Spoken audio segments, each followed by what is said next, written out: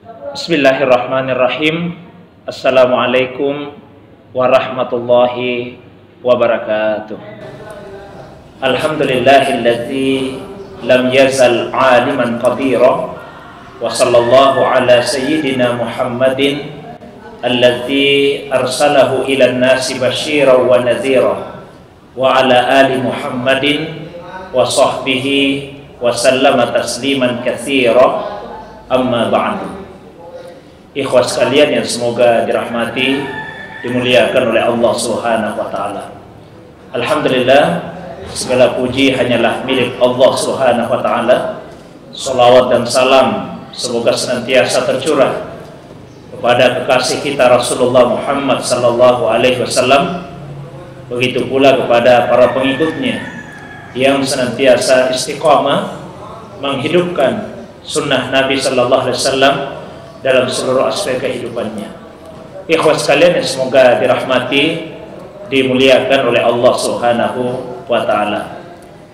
Beberapa hari terakhir ini kita dihebohkan dengan kasus pembakaran bendera yang bertuliskan kalimat la ilaha illallah. Kemudian salah satu akibat dari insiden atau kejadian tersebut yaitu munculnya pro dan kontra di kalangan kaum muslimin. Salah satunya berkaitan dengan al-liwa dan ar-rayah. Nah, bermunculan pendapat-pendapat dikaitkan dengan hadis-hadis yang menjelaskan tentang al-liwa dan ar-rayah tersebut. Ada yang meragukan kesahihan hadis-hadis mengenai al-liwa dan ar-rayah. Oleh karena itu, insya Allah saya akan bacakan beberapa hadis dari berbagai sumber yang menjelaskan tentang al-liwa dan ar-rayah disertai dengan syarah atau penjelasan tentang hadis tersebut dan juga eh, hadis-hadis uh, yang terdapat di dalam kitab yang lainnya. Hadis yang pertama yaitu hadis yang diriwayatkan oleh Imam At-Tirmizi. Hadatsana Muhammad bin Rafi, hadatsana Yahya bin Ishaq wa huwa As-Salihani, hadatsana Yasir bin Hayyan qala Sami'tu Abu Midlas Lah bin Umair yuhaddisu an Ibnu Abbas qala Kana rayatu Rasulillah sallallahu alaihi wasallam sauda waliwa'uhu abyad yang artinya dari Ibnu Abbas ia berkata bahwasanya raya Rasulullah sallallahu alaihi wasallam itu sauda berwarna hitam waliwa'uhu dan liwanya abyad berwarna putih. Setelah mengemukakan riwayat tersebut Abu Isa Abdul Musi kemudian mengomentari hadis itu dengan mengatakan qala Abu Isa hadza hadisun hasanun qarib min hadzal wajhi min hadisi Ibnu Abbas. Yang artinya ini adalah hadis hasan qarib dari jalur ini dari hadis Ibnu Abbas. Hadis hasan artinya bahwa hadis tersebut berada di bawah derajat hadis sahih tapi dia berada di atas derajat hadis yang dhaif. Dan para ulama hadis berpendapat bahwa hadis hasan termasuk salah satu di antara hadis yang makbul, hadis yang diterima. Nah, kemudian uh, hadis ini juga disyarah oleh Imam Al-Mubarak Furi dalam kitab uh, Tuhfatul Ahwazi di mana beliau menjelaskan ya keadaan satu persatu dari perawi hadis tersebut dan juga menjelaskan ya mengenai uh, sarah atau penjelasan dari matan hadis tersebut. Di mana beliau mengungkapkan bahwa ya, karena rayatun Nabi SAW sauda rayanya Rasulullah SAW itu hitam. Beliau mengutip pendapat dari Ibnu Malik. Ibnu Malik yang mengatakan ma ghalibu launi aswad yaitu bahwa sebagian besar warnanya itu adalah hitam. Bihaitsu yura minal ba'idi aswad. Kalau dilihat dari jauh maka warnanya adalah hitam la annahu khalis as bukan berarti hitamnya itu adalah hitam yang yang polos. Itu di antara penjelasan yang dikemukakan oleh beliau. Kemudian juga di dalam uh, kitab yang lain, ya, Fathul Bari yang ditulis oleh Ibnu Hajar al Asqalani yang menjelaskan tentang kisah dalam peperangan Khaybar ya, tentang manakib atau keutamaan dari Imam Ali bin Abi Thalib ini sarahnya cukup panjang. Saya kutipkan yang berkaitan dengan uh, pembahasan saja. Ya, beliau menuliskan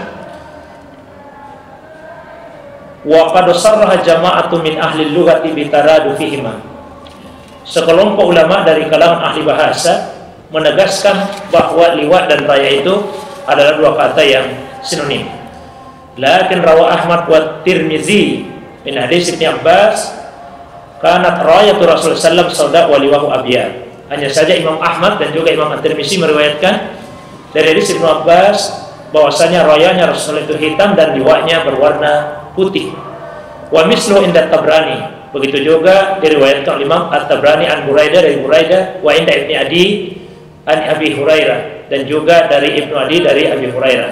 Wa zada, kemudian ada tambahan maktuban fihi la ilaha illallah Muhammadur Rasulullah. Tercatat pada keduanya kalimat la ilaha illallah Muhammadur Rasulullah. Itu di antara kutipan dari kitab uh, Fathul Bari. Kemudian yang berikutnya yaitu dari kitab uh, Aulul Ma'bud. Ini adalah syarah dari Sunan Abi Dawud. Di mana uh, pada salah satu bagian penjelasannya beliau menulis Wa akhrajahu Tirmizi wa Ibnu Majah. Di sini juga diriwayatkan oleh Imam At-Tirmizi dan uh, Ibnu Majah. Panjang di, di ujungnya beliau mengatakan Wa akhrajan Nasai min hadis Qatada an Anas anna Ibnu Maktum kanat ma'ahu raya sauda fi ba'di masajid Nabi sallallahu wa huwa hadisun hasan. Imam An-Nasai meriwayatkan dari hadis Qatada dari Anas bahwasanya Ibnu Maktum Abdullah Ibnu Maktum ya membawa raya yang berwarna hitam dalam beberapa peperangan bersama dengan Nabi SAW wa huwa hadisun hasan dan itu adalah hadis hasan. Ya. Kemudian yang berikutnya hadis yang terdapat dalam kitab Sunan Ibni Majah. Ya, Sunan Ibni Majah. Hadatsana Abdullah bin Ishaq Al-Wasiti An-Naqili hadatsana Yahya bin Ishaq an Yazid bin Hayyan sami'tu Aba Midlas yuhaddisu an Ibn Abbas anna Rasulullah maaf anna rayat Rasulullah SAW kanat sauda wa liwa'u abiyah yang artinya dari Ibn Abbas bahwasanya raya Rasulullah SAW itu berwarna hitam dan liwatnya berwarna putih. Itu hadis dari Ibn Abbas. Ketika Imam Al-Albani, Imam Nasiruddin Al-Albani mentahkik hadis tersebut, beliau mengatakan bahwa hadis itu adalah hadis Hasan Sahih. Hadis Hasan Sahih. Kemudian di Hasi As-Sindi al Ibn Majah, ini adalah sarah dari kitab Sunan Ibn Majah disebutkan Kila ar-raya wal liwa mutaradifani ada pendapat yang mengatakan bahwa rayah dan liwa itu adalah dua kata yang sinonim. La farqa bainahuma. Tidak ada perbedaan di antara keduanya. Wakila bainahuma farqun. Ada juga pendapat yang menyatakan bahwa terdapat perbedaan. Bi anna liwa wal alam sayyid. Liwa itu adalah bendera yang kecil, war raya al-kabir. Sementara raya adalah bendera yang besar. Wa muqtada hadis Tirmizi wa Ahmad an Ibn Abbas Sementara kandungan dari hadis Tirmizi dan Ahmad dari Abdullah Ibn Abbas menyebutkan bahwa kanat rayatu Rasulullah SAW sauda waliwahu abyad. Bahwasanya rayanya Rasul berwarna hitam dan liwanya berwarna putih. Hadis ini menunjukkan subutil farqi bainahuma. Jelasnya perbedaan antara raya dengan liwat tersebut. Ya. Kemudian di Fathul Bari, di bagian lain dari kitab uh, Fathul Bari ya, disebutkan Warawa Abu Ya'la an Anas rafa'ahu anna Allah akrama ummati bil albiyah isnaduhu da'if wal yabi syekh min hadis Ibn Abbas kana maktuban ala rayati la ilaha illallah Muhammadur Rasulullah wa sanaduhu wahim diriwayatkan oleh Abu Ya'la dari Anas dan beliau menyadarkan pada Rasul bahwasanya Allah memuliakan umat ini dengan uh, liwa ya. kemudian beliau mengatakan bahwa sanadnya daif Kemudian ada riwayat dari Abi dari hadis Ibnu Abbas yang menyebut tertulis pada raya la ilaha Muhammad Rasulullah dan beliau mengatakan sanadnya lemah. Kemudian dari kitab Mujam Al-Ausar disebutkan An Ibnu Abbas qala kana ra'aytu Rasulullah sallallahu alaihi wasallam abya. Rayanya Rasulullah itu berwarna hitam dan liwanya putih. Maktuban alaihi la ilaha illallah Muhammadur Rasulullah. Tertulis padanya la ilaha illallah Muhammadur Rasulullah. Dikutip juga oleh Abi Asyik Al-Asbahani dalam kitab Ahlakun Nabi hadis yang lebih senada. Kemudian terakhir di kitab Subulul Huda war Rasyad fi Sirati Khairil Ibad yang ditulis Muhammad bin Yusuf As-Salih Asy-Syami. Beliau menuliskan warawa al-Imam Ahmad wa Tirmizi bi sanadin jayyid. Imam Ahmad dan Tirmizi meriwayatkan dengan sanad yang jayyid. Istilah sanad yang jayyid menurut sebagian ulama itu semakna dengan sanad yang sahih Ulama lain mengatakan bahwa sanad yang jayyid itu berada di antara hadis sahih dan hadis hasan. Intinya hadisnya makbul. Wa Tabrani birijal sahih. Juga Imam Tabrani dengan periwayat yang sahih gairah Hayyan bin Ubaidillah kecuali Hayyan bin Ubaidillah dari Buraidah, dari Ibnu Abbas, dari Ibnu Adi, dan Abi Hurairah dari Abi Hurairah qalu mereka semua berkata, "Kana rayatu Rasulullah sallam sauda." Rayanya Rasul berwarna hitam, wa liwa'uhu abyad dan liwanya berwarna putih. Abu Hurairah wa Ibnu Abbas sama Indah Tabrani maktubun fihi la ilaha illallah. Ada tambahan di Tabrani maktubun tertulis padanya la ilaha illallah Muhammadur Rasulullah. Jadi dari beberapa hadis yang saya kutipkan dari berbagai kitab hadis dan juga sang hadis bisa disimpulkan bahwa hadis-hadis tentang liwa dan raya dari segi kualitasnya ada yang berkualitas sahih, ada yang hasan dan ada yang baik. Maka tentu saja ya, kita mengamalkan hadis-hadis yang kualitasnya uh, sahih ya, dan juga hadis-hadis yang kualitasnya hasan. Dengan demikian, berdasarkan kaidah-kaidah dalam disiplin ilmu hadis, bahwasanya hadis tentang al-liwa dan ar-raya adalah hadis yang makbul. Jadi pendapat umum ya, bahwasanya raya itu berwarna hitam dan liwa itu berwarna putih dan pada keduanya tertulis kalimat la ilaha illallah Ya, sebagian riwayat menambahkan Muhammad Rasulullah. Kemudian muncul pertanyaan.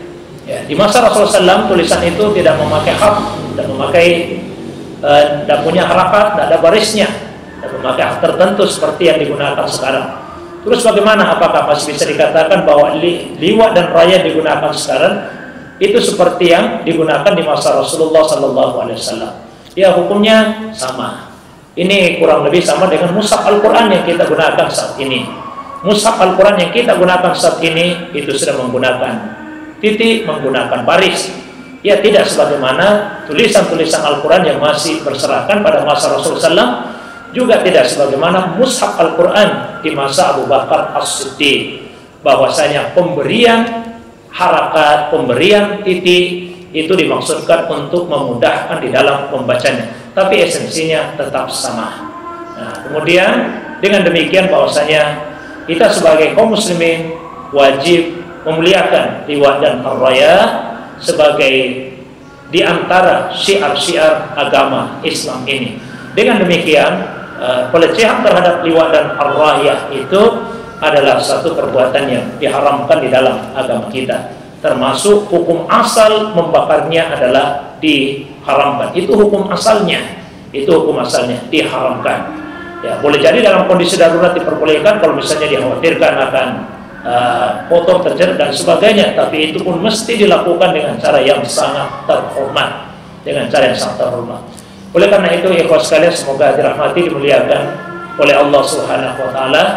Mari uh, kita kokohkan dalam hati kita keimanan akan kalimat ini, kalimat tauhid kalimat la ilaha illallah dan kita memuliakannya di dunia ini. Insya Allah kalimat ini akan memuliakan kita di hari kemudian kelak.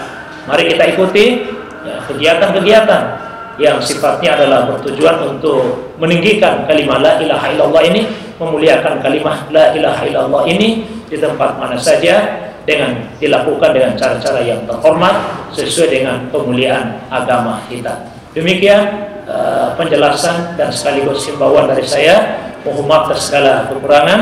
Subhanallah wa bihamdik. Asyhadu an la ilaha illa anta. Astaghfiruka wa atubu ilaik. Assalamualaikum warahmatullahi wabarakatuh